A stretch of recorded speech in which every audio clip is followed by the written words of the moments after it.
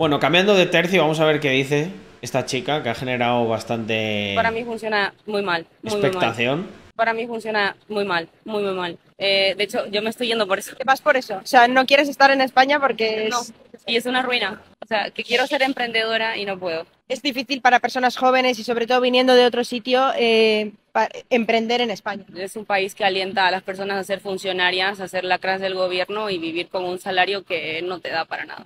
¿Y alguna cosa positiva podrías rescatar de...? Ay, perdón. De España. A ver, es un país que tiene muchas, muchas opciones y muchas posibilidades. Es una pena que como en Latinoamérica esté en manos de gente que lo administra no de la mejor manera. Burocráticamente desastroso, administrativamente ¿Qué opináis de esto? Porque el, le ha caído mucho, le ha caído mucho hate a la chica porque lleva un bolso de Louis Vuitton. Hombre, a ver, las cosas como son. Da un poco el perfil de, pija, pero no dice ninguna cosa que sea mentira. Eh, A mí, a mí esto me ocurre lo mismo eh, viceversa. Si veo a uno con muchas pintas de perro flauta, pero dice cuatro factos bien dichos, se los, obviamente no me importan sus pintas, me importa más lo que ha dicho, lo que tiene que decir. Entonces yo creo, eh, esto es una cosa que se está empezando a dar y no es ninguna, no es ninguna broma. Yo conozco gente de Latinoamérica que está empezando, o sea, ya lo de venirse a España no es tan atractivo. Es más, muchos que se vienen, y esto sí que es una grandísima proporción, o sea, más de la mitad de la gente que se viene, yo creo que no es lo que se espera ni lo que les venden allí. Nos tienen mucha mejor consideración en Latinoamérica de lo que nos imaginamos. O sea, España es como, no sé, como para nosotros casi que Suiza, ¿eh? Y claro, llegan, llegan aquí, imaginaros que tú te estás pensando que te vas a Suiza y, de repente estás en Argentina, ¿sabes? Entiendo perfectamente que digan, hostias, eh, esto, no, esto no es como me lo habían vendido a mí. O sea, es que tú fíjate como latinoamericano, ver las noticias estas de todos los pagapensiones, eh, lo de las cosas estas de que van a dar prioridad a los bebés trans y tal. Allí esto es, muy curioso porque, por ejemplo, mira, yo tengo a mis, tengo a mis suegros aquí y mis suegros no es que sean precisamente... mm, eh, o sea, van- han cambiado con el tiempo, pero no, vamos a decir que no son gente precisamente de, de derechas, ¿vale? Pero con las cosas estas de LGTBI y todo esto flipan. O sea, no, no lo entienden. Ellos dicen, no, pero eso, eso no es defender a la clase trabajadora. O sea, ellos, para que os hagáis una idea, lo más parecido a lo que son, yo creo que ellos se entenderían relativamente bien con... Es que son una mezcla, son como... Es una bipolaridad ahí, ahí. Entre Juan Ramón Rayo y Roberto Vaquero está la cosa. Pero es que si tú, o sea, yo por ejemplo respeto, respeto mucho a, a, a Roberto Vaquero, aunque haya cosas que obviamente no vamos a estar en absoluto de acuerdo, pero macho, me parece una persona con, con cierto sentido de- del honor y con una ética respetable. Es verdad que a lo mejor luego, llegado a cierto punto, quizá él haría cosas que no me parecieran nada éticas, tal.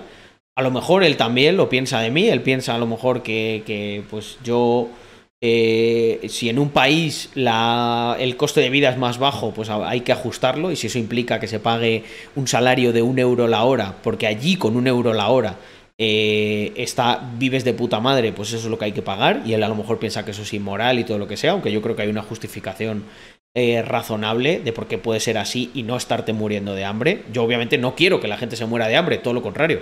Lo que quiero es que gracias a su trabajo se puedan autoproveer, que es la, mejor protección social que existe.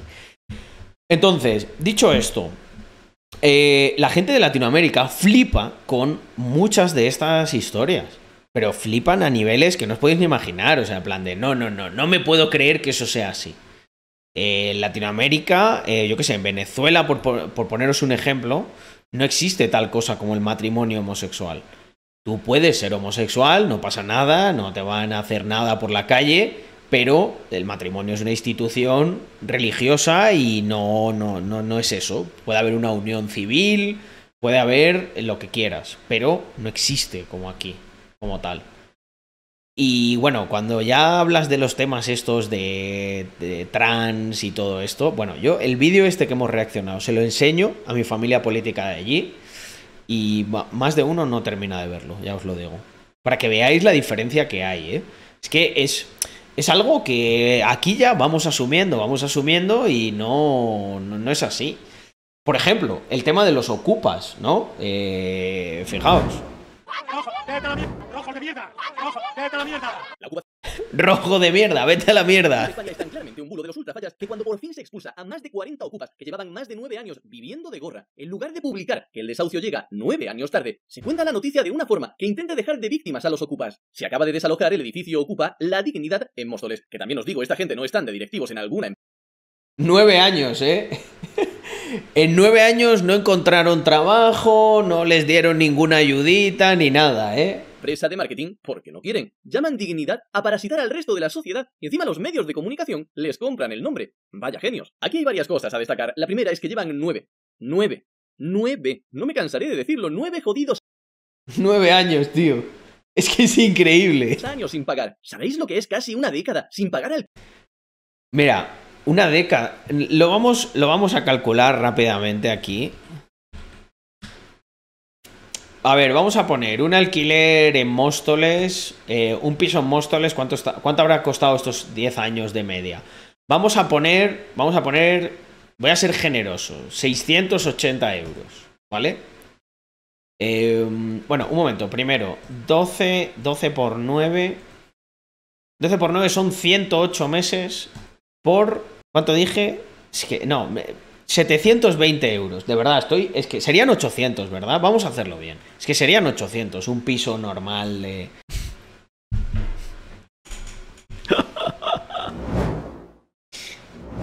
Preguntan por aquí en el chat de manera inocente, gente, porque a veces nosotros pecamos de inocentes. Nos dice Rebel ZFX, ¿habrán ahorrado? Rebel, tío. Pero tú, le, tú, tú les ves a estos, les ves a estos cara de ahorradores, a este, al Gerardo TC este, el de Context. Lo que, se ahorraron es pagar el piso. No podemos inferir que por ello ahorraran dinero. Pero sí se ahorraron pagar. Desde luego se ahorraron pagar durante nada, nada más y nada menos que nueve años.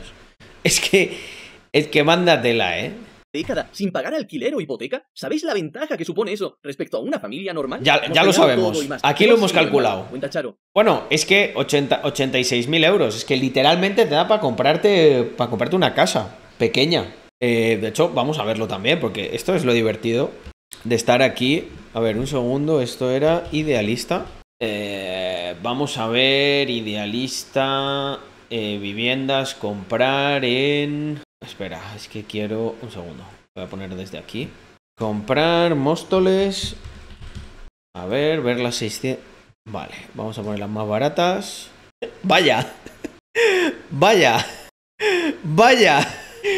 Que, o sea, le- literalmente, o sea, joder, podía, mira, por lo menos podían haber ahorrado el dinero y Joder, comprar y devolver eso a, a alguien del barrio, ¿no?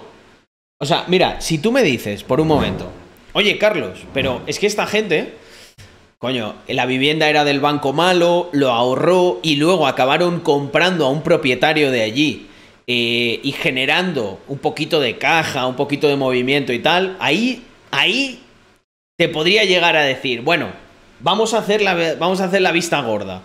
Ha sido una gente que tenía una dificultad, pero oye, se ha esforzado, han estado nueve años ahorrando, demostrando que, que- que- que tenían un compromiso y tal. Pero es que se lo han gastado.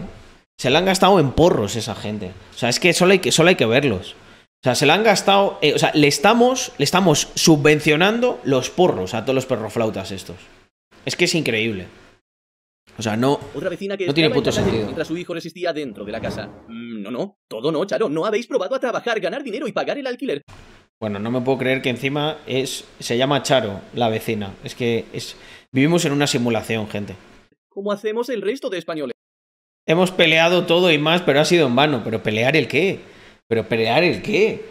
Jo- eh, jodida aprovechada, que has estado nueve putos años. O sea, que yo llevo nueve putos años pagando eh, alquileres y de todo. Y tú no lo has pagado. Siempre que veo este tipo O sea, yo he tratado de, de, de, de hacer 20.000 negocios marroneros y cosas para crear el imperio que estoy creando ahora. O sea, ¿y tú qué coño has hecho en estos nueve años aparte de rascarte la seta, Charo? de noticias me asalta una duda. ¿Por qué es un drama que Charo tenga que pagar un alquiler, pero no es un drama que tenga que pagarlo yo? ¿Acaso le han diagnosticado a esta gente alergia a madrugar? ¿Intolerancia al trabajo, quizás? Pero no os perdáis. Tal cual. Es la conversación que nos rescatan aquí los amigos del diario.es. El interés vecinal daba pie a conversaciones de esquina entre mostoleños, como un hombre que pasaba por allí y que esgrimió el argumento de que la ocupación es ilegal y los alquileres hay que pagarlos. Esto exasperó a uno de los manifestantes. ¿Pero usted sabe lo que es la Sareb? Le espetó, recordándole las decenas de millones de euros que el Estado ha tenido que asumir como deuda por hacerse cargo de casas en la crisis inmobiliaria. El interlocutor reconoció que no estaba al tanto. Hombre, es que la Sareb es un puto, es un, es un puto robo que se hizo encubierto del, del, gobierno hacia los ciudadanos. O sea, eso no justifica el que, eh, claro, porque, mira, eh, ¿sabes cuál es el argumento que van a dar aquí? Es, no, pero es que la Sareb eh, compró con dinero del contribuyente a los bancos todo el activo tóxico de la crisis inmobiliaria. Esto es cierto. Esto llevo yo diciéndolo, eh, no sé, como ocho años. Pero eso lo que tendría que implicar es que la gente esté en contra de, del gobierno, no que encima cojan, ocupen y que ahora el gobierno vea que esta es la nueva manera de estafar al contribuyente, que es permitiendo a gente que del dinero que nos quitaron y que compraron a precio de mercado, que eso fue un robo, la Sareb, como funcionó, es que le compró el activo a los bancos a precio de mercado cuando había caído un 40%, por lo tanto asumió esa pérdida con el erario público. Pero es que encima ahora nos van a seguir, porque han vendido todo eso con pérdidas, y ahora encima han dejado eh, a la gente que ocupe, y eso sigue redundando en que los contribuyentes que contribuyen estén financiando las medidas sociales encubiertas del, de, e ilegales del gobierno, que es permitir a los ocupas ocupar. Cuando uno ocupa, ocupa, eso lo está financiando el contribuyente. La discusión no siguió subiendo de tono. Vaya, vaya, casualidades de la vida que en el artículo del diario.es el que está en contra de la ocupación haya quedado como alguien desinformado y el manifestante que quiere saltarse la ley como un abogado con 20 años de carrera. ¿Pero qué narices tendrá que ver la Sareb aquí? Pues en realidad sí que tiene que ver, pero no para apoyar a los ocupas, precisamente. La Sareb es el banco malo que creó el gobierno para quedarse con toda la basura inmobiliaria de la crisis. Ya sabéis, vivimos en un Claro. con toda esa basura y la han ido vendiendo poco a poco cada año para intentar recuperar parte de lo que gastamos en comprarla. Resulta que la Sareb tenía el edificio ocupa de esta gente. Lo vendió el pasado verano a una empresa privada por 2 millones y medio. Ahora, tras expulsar a esta gente, tiene un valor de 4,6 millones. Conclusión, gracias a estos amables y simpáticos ocupas, los españoles hemos perdido, así, en un chasquido, aproximadamente 2 millones de euros. Pero eh, encima los malos, Bueno, esto a escala. somos nosotros. Oye, Net, NetQ, QWark, muchísimas gracias por ese Prime y por unirte. Son ya 239. Estamos cerquita de la primera meta, que son 300. Y se está notando ahí, ¿eh? La recurrencia del stream y el apoyo. Muchas gracias. Creo yo que es el razonamiento de esta gente. Pues, ah no, como esto es propiedad del banco malo, como es propiedad del Estado, pues patadita, me meto aquí y aquí me quedo viviendo hasta que el señor decida llamarme. Y lo de trabajar y pagar el alquiler, pues para los pringaos de los fachas esos. Y por si alguien tiene todavía dudas de a qué partido votan los ocupas, estos después del desahucio se fueron a encarar con la gente del Partido Popular en su sede en Móstoles. Espérate que me interesa aquí lo que pone Ione Belarra. A ver, qué divertido. Todas las viviendas de la Sareb tienen que formar parte del parque público de vivienda. El derecho a la vivienda tiene que estar por encima de los fondos buitre. Es intolerable que esto suceda. El problema es que luego no podrías vender ese activo. Si lo tienes lleno de gente eh, que no va a querer pagar un alquiler a precio de mercado. Por lo tanto, si no lo pierdes por un lado, lo pierdes por otro. Lo que pasa es que obviamente esto está en un plano intelectual que para gente como Ione Belarra pues se le escapa. Partido Popular en su sede en Móstoles. Llama a la policía. ¿Qué llames a la policía? ¿Qué me vas a hacer a mí? Hostia puta, qué pintas tiene el, el- el notas este, eh. ¿Qué me vas a hacer a mí? ¡Rojos de mierda! ¡Rojos! ¡Vete a la mierda! ¡Vete ya! ¡Vete ya! Me hace mucha gracia que ahora eh, se cabrean de. Nos ha dicho rojos de mierda. Bueno, como si vosotros no llamaseis fascista hasta, no sé, hasta el que te vende el periódico porque no te ha saludado en inclusive. Ha dicho rojos de mierda. Bueno. Sí, sí, lo, veo que tienes oídos y que lo has escuchado. Cuando se acelera, pues sí. Gente que se ha quedado sin casa un poco, ¿no? No sé de... Bueno, Gente que se ha quedado sin casa, pobrecita. Lo que ves que suelen ser gente siempre rojos que no les gusta trabajar, ¿eh? Los que se quedan sin casa. Es, es como... ¿No os dais cuenta que hay muchas casualidades eh, con, est- con estos temas? Porque hay tantas casualidades. Eh, un tío de ley que trabaja, que se levanta por la mañana, eh, nunca coincide que sea, que sea rojo, ¿eh? Es que al final tiene, tiene unas pintas que yo no sé de dónde han sacado ese, o sea, o qué cargo tiene dentro del PP de Móstoles, pero era, no sé, era un personaje extraño. Carlos, ¿vos pensás que el concepto de sacrificio es igual al concepto de costo de oportunidad? Eh, creo que están muy relacionados. Creo que están muy relacionados, la verdad.